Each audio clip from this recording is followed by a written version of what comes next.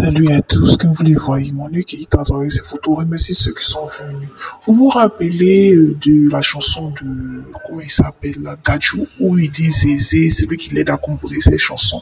Bon, le voilà, il était là à l'inauguration avec DJ, ici Zézé, et puis notre artiste gabonaise, Emma, je crois bien. Ici Zézé était là avec Lynn, une de groupe Kif No voilà, qui évolue en solo. Je vous laisse.